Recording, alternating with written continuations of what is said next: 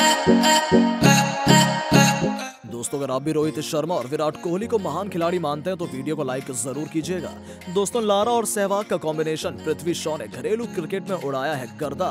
सौ नहीं, दो सौ नहीं, तीन सौ नवासी रनों की पारी खेली है। ऐसी ऐतिहासिक पारी लगा दी की रिकॉर्ड की झड़ी लग गई तो वहीं टीम इंडिया का दरवाज़ा खटखटा रहे। ऋतुराज गायकवाड़ ने भी अपने बल्ले से तबाही मचाते हुए इतिहास रच दिया तो आखिर कैसे इन दोनों धाकड़ खिलाड़ियों ने अपनी खौफनाक बल्लेबाजी से गेंदबाजों के उड़ाए पर खच्चे? उनकी खौफनाक बल्लेबाजी के साथ साथ साथ उनके कभी ना टूटने वाले रिकॉर्ड्स का पूरा वीडियो हम आपको दिखाएँगे, लेकिन उससे पहले आपको क्या लगता है कि पृथ्वी शॉ, ऋतुराज गायकवाड़ और ईशान किशन में से सबसे बेहतरीन ओपनर बल्लेबाज कौन है, नीचे कमेंट करके ज़रूर बताइएगा।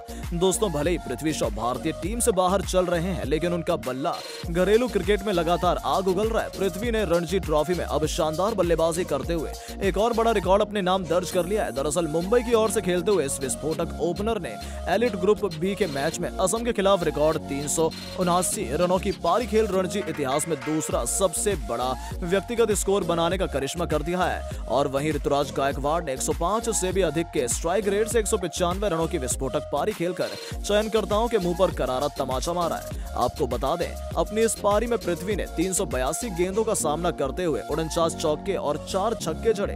हालाँकि मुंबई का ये ओपनर 400 रनों के ऐतिहासिक आंकड़े से चूक गया, लेकिन अपनी इस पारी के बदौलत पृथ्वी ने घरेलू क्रिकेट में रिकॉर्ड्स की झड़ी लगा दी। वो पहले ऐसे खिलाड़ी बने जिन्होंने सैयद मुश्ताक अली ट्रॉफी में शतक विजय, हजारे ट्रॉफी में दोहरा शतक और रणजी ट्रॉफी में तिहरा शतक ठोकने का नायाब कीर्तिमान अपने नाम किया है। वहीं बात करें महेंद्र सिंह धोनी के चहेते, ऋतुराज की तो तमिलनाडु के खिलाफ खेलते हुए ऋतुराज ने 105 के स्ट्राइक रेट से एक सौ चौरासी गेंदों पर एक रनों की विस्फोटक पारी खेली, जिसमें उन्होंने 24 खतरनाक चौके तो वहीं आठ खौफनाक छक्कों की बारिश भी की है, जिसमें गेंदबाज तो दहशत में नज़र आए, हालाँकि दोस्तों लगातार इतनी बेहतरीन परफॉर्मेंस देने के बावजूद अब तक भारतीय टीम में उन्हें जगह नहीं मिल सकी है।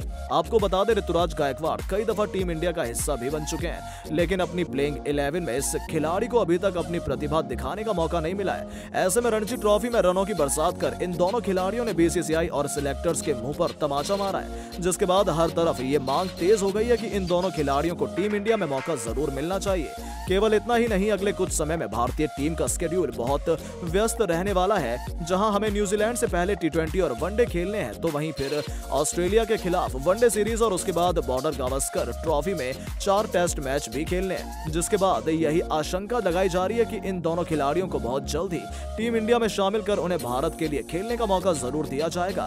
और यह देखना दिलचस्प होगा कि क्या एक रिकॉर्ड तोड़ पारी का इनाम शो को मिलता है, या इस बार भी इस युवा खिलाड़ी के हाथ, खाली हाथ ही लौटना पड़ता है। वहीं ऋतुराज तो टीम इंडिया में शामिल होने के बाद बहुत करीब हैं। और अब बीसीसीआई इन पर क्या फैसला करती है? उन पर सभी की नज़रें टिकी हैं, लेकिन दोस्तों, आपको क्या लगता है कि इन दोनों खिलाड़ियों की टीम इंडिया में शामिल इनको किया जाना चाहिए या नहीं? अपनी राय नीचे कमेंट बॉक्स में ज़रूर दें और ऐसी शानदार खबरों के लिए चैनल को सब्सक्राइब करना ना भूलें। धन्यवाद।